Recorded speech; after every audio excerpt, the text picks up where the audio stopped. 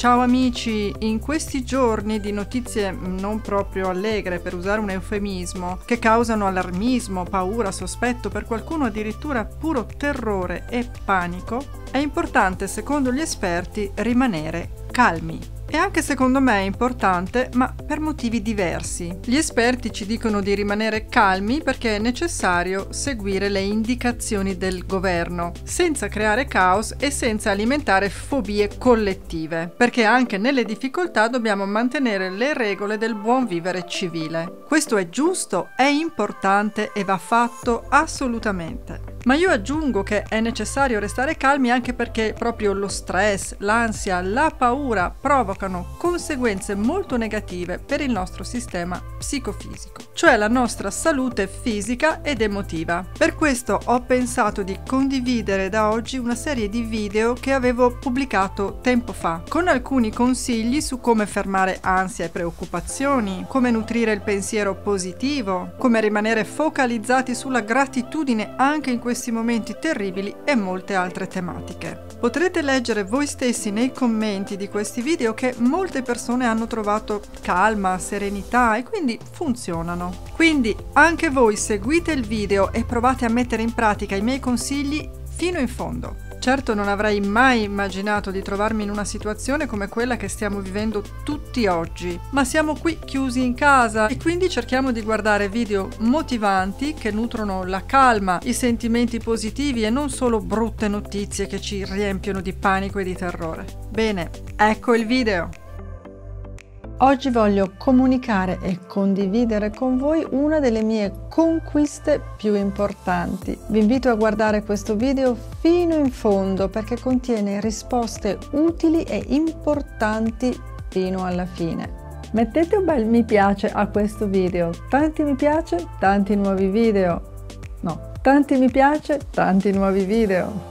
Allora, domenica scorsa ero in treno, stavo andando a Firenze e a Bologna si è seduta vicino a me una persona. Aveva voglia di parlare e mi è anche sembrato strano perché oggi in treno nessuno parla più, se ne stanno tutti a guardare lo smartphone o il tablet, anch'io a volte. Invece questa persona era una di quelle che devono per forza raccontare a qualcuno i loro guai. Vi è mai capitato? Sì, Simona, eh, io non so mai cosa fare. Tu cosa hai fatto? Ho usato la mia strategia anti-preoccupazioni. Funziona immediatamente con noi stessi e con le altre persone. È molto utile e oggi voglio condividerla con voi. Grazie, ma perché dici che serve anche a noi? Vi capita mai di sentirvi pieni di ansia e sopraffatti dalle preoccupazioni? Magari per qualcosa che potrebbe succedere e non sapete come andrà.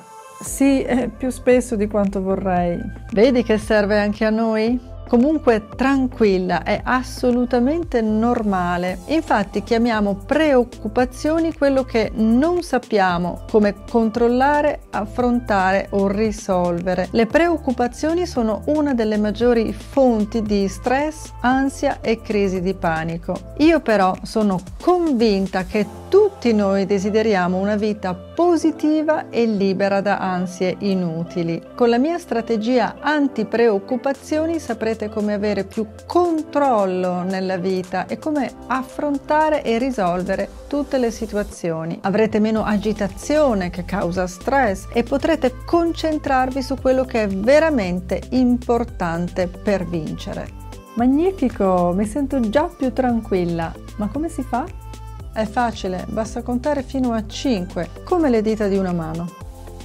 1. Scrivete su un foglio di carta la preoccupazione che vi angoscia con più dettagli possibile. È importante scriverla così liberate la mente e potete proseguire con gli altri step. Fatto? 2. Poi scrivete la peggiore conseguenza possibile dovuta a questo problema, ma fate correre la fantasia, immaginate il disastro peggiore che vi potrebbe capitare e scrivetelo. Terribile, non oso rileggere. 3. Decidete consciamente di accettare che possa accadere il peggio e che non sarà la fine del mondo. Beh, mm, sì, dai, potrei sopravvivere, sì. 4. Ora che avete chiaro cosa potrebbe succedere, osservatelo e iniziate a desiderare intensamente che non accada e decidete di fare tutto ciò che è necessario per riprendere il controllo delle vostre emozioni in modo creativo. Così uscite dal circolo vizioso dell'ansia.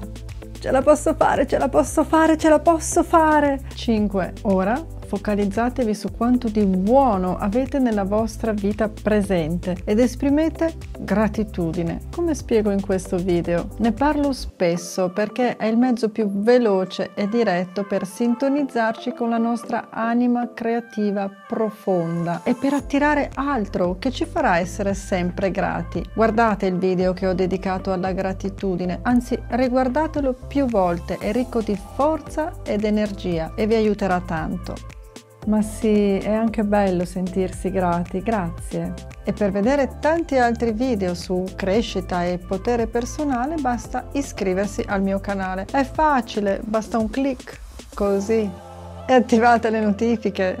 Ma non ho finito. Ora vi do la chiave di lettura di questa tecnica. Ho impiegato anni a metterla insieme e farla funzionare, quindi ascoltate. Trasformiamo la preoccupazione in una interrogazione di cui sapete già le domande tutto diventa più facile sotto il nostro controllo e non siamo più in balia di una paura sconosciuta. Usate questo esercizio con voi stessi e con gli altri. Saranno sorpresi della vostra capacità di irradiare calma e risolvere le situazioni.